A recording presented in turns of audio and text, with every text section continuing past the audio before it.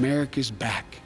Οι Ηνωμένες Πολιτείες επέστρεψαν στη Συμφωνία του Παρισιού για το κλίμα διαστόματος Τζο Biden, από την οποία αποχώρησε ο προκάτοχός του Ντόναλτ Τραμπ. Ο πρόεδρος Biden δήλωσε σε διαδικτυακή συγκέντρωση Ευρωπαίων ηγετών ότι ο κόσμος δεν μπορεί πλέον να καθυστερήσει ή να κάνει το ελάχιστο για την αντιμετώπιση της κλιματικής αλλαγής.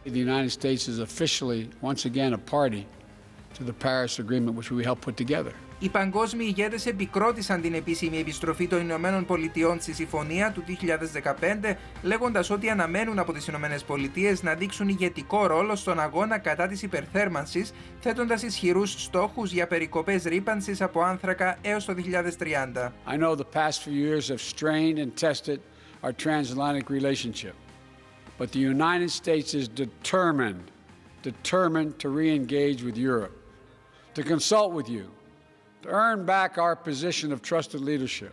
Ο Biden ανακοίνωσε επίσης ότι οι Ηνωμένες Πολιτείες δεσμεύουν 2 δισεκατομμύρια δολάρια για την παγκόσμια προσπάθεια εμβολιασμού COVAX και ενθάρρυνε τους εταίρους της G7 να εντείνουν τις προσπάθειές τους.